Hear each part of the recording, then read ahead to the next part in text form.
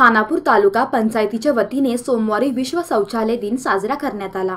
यावेळी कार्यक्रमाचे उद्घाटन आमदार डॉक्टर अंजलीताई निंबाळकर यांच्या हस्ते झाले. अध्यक्षस्थानी सभापती सौ. नंदा कोडचवाडकर होत्या. स्वच्छ भारत अभियानाअंतर्गत कर्नाटकात खानापूर तालुक्याने नेहमी अग्रस्थान राखले आहे.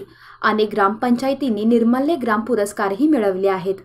कर्नाटकात स्वच्छ भारत या अभियानाअंतर्गत प्रत्येक गाव हागणदारी मुक्त करण्यासाठी दिलेल्या उद्दिष्टाप्रमाणे बेळगाव जिल्ह्यासह उत्तर कर्नाटकात खानापूर तालुक्यांनी अव्वल स्थान पटकावल्याची माहिती देण्यात आली. यावेळी तालुका पंचायतीच्या प्रांगणात शाळकरी विद्यार्थ्यांनी तसेच तालुका पंचायत कर्मचारी अंगणवाडी कर्मचारी पीडीओच्या उपस्थितीत संदेश देणाऱ्या फलकांद्वारे स्वच्छ भारत अभियानाचा नारा देण्यात आला. यावेळी तरुण भारत सोशल मीडियाच्या प्रतिनिधींनी आमदार अंजलीताई निंबाळकर आणि अन्य लोकप्रतिनिधींशी संवाद साधून खानापूर तालुक्याने अव्वल स्थान पटकावल्याबद्दल त्यांच्या प्रतिक्रिया जाणून घेतल्या.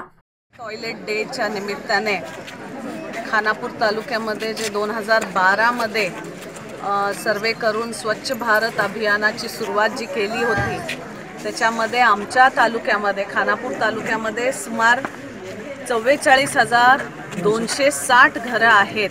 आणि ह्या चव्वेचाळीस हजार दोनशे साठ घरांमध्ये सुद्धा टोटली चव्वेचाळीस हजार दोनशे साठ बाथरूम व्यवस्थित टॉयलेट्स बांधले गेलेले आहेत. आणि आनंदाची गोष्ट ह्याच्यात हे होते की खानापूर तालुका हा एकमेव तालुका आहे ज्यांनी हंड्रेड पर्सेंट स्वच्छ भारत अभियानला गेल्या सहा वर्षात प्रतिसाद देऊन लोकांनी स्वच्छता किती महत्त्वाची आहे हे जाणीव करून दिलेली आहे. आज फार चांगली गोष्ट आहे की स्वच्छ भारत अभियानमध्ये कित्येक वर्ष खानापूर तालुक्यामधून प्रयत्न केला जात होता. पण आत्ताच्या परिस्थितीमध्ये आज खानापूर तालुका बेळगाव जिल्ह्यामध्ये स्वच्छता अभियानामध्ये शंभर टक्के शौचालय खानापूर तालुक्याने बांधून घेतलेलं आहे. आणि त्यासाठी संपूर्ण खानापूर ता तालुक्यातील जनतेला जनतेचं मी अभिनंदन करतो की त्यांच्या सहयोगाने आज खानापूर तालुका आपल्या जिल्ह्यामध्ये प्रथम कमा क्रमांकावरती आहे.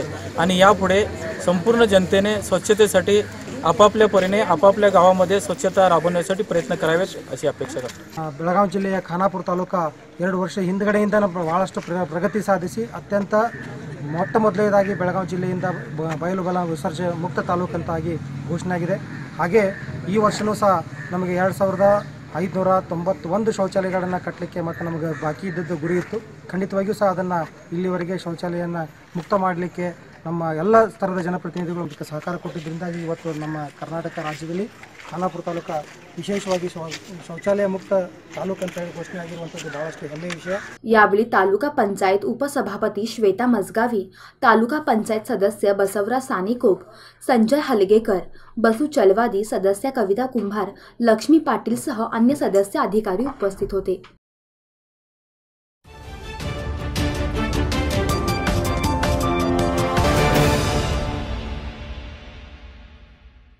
आपली व आपल्या कुटुंबाची काळजी आता आमची. General insurance IFFCO Tokyo united India assurance company limited L I C Lokmanya multipurpose cooperative society limited प्रधान कार्यालय एकशे पंच्याण्णव slash A Nasco Royal Guruwar Peth Tilakwadi Belgaum. Phone number शून्य आठ तीन एक दोन चार शून्य सात शून्य सात आठ W W W dot Lokmanya society dot O R G. Subscribe करा Tarun Bharat daily Belgaum news channel आणि ताज्या घडामोडी पाहण्यासाठी बेल आयकॉनवर क्लिक करा.